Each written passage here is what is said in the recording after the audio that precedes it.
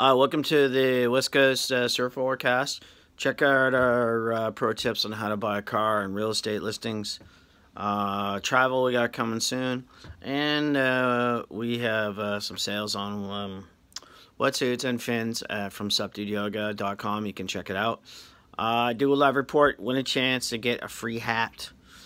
you can do the forecast in the app and check it out. Okay, here we go. The West Coast. Uh, getting a lot of swell, obviously. Um, pretty big storm off Aleutian Islands right now, uh, Thursday, Friday, Saturday in uh, Northern California, Tofino, Jordan River. Uh, really good surf in uh, Central California. Southern California, too, even down to Baja, that's kind of pulsing swell here. Uh, then there's this another swell coming uh, Friday, which you're seeing here. It's a north-northwest northwest swell on the west coast, uh, and then uh, heading towards Hawaii too. You know, a lot, a lot of swell in the Pacific right now, especially in the north. Um, so Hawaiian Islands, you know, good today, uh, best on Friday, and then of course on the weekend. Uh, pretty good surf coming for the weekend too, as this kind of passes by. It's pretty big storm, but this big, pushing swell everywhere. And same for Northern California. Uh, Friday's probably the best day.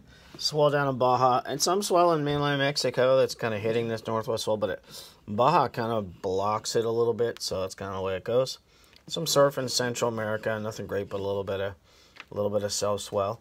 Uh, that's it for now. We are going to be adding Australia, um, uh, Indo, New Zealand, uh, and the Pacific soon, but uh, it's pretty busy. So, and check out our travel uh, tips in our app and pro tips. See you later. Have fun. Enjoy.